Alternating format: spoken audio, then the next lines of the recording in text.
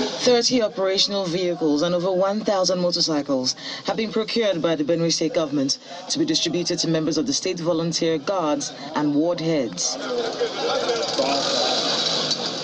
Move by the Benue State government is to help secure rural communities from persistent attacks. Governor Samuel Ortom formally inaugurates the vehicles and motorcycles to the admiration of the beneficiaries.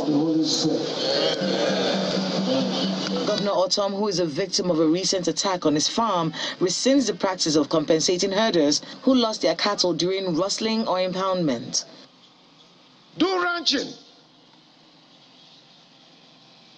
But if you think you are above the law. The commissioner of police is there. The security agencies are there to apprehend you.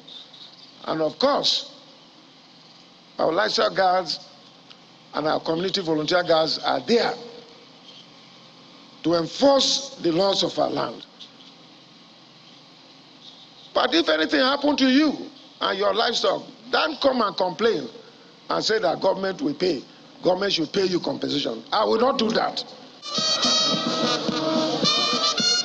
The idea of presenting the vehicles to security operatives and traditional rulers is to improve local intelligence gathering and surveillance and ultimately curtail attacks on rural communities. What is happening now, the TOT is so worried. There's no day the herdsmen don't pass through Nasarawa to Benue. They come and meme in the night.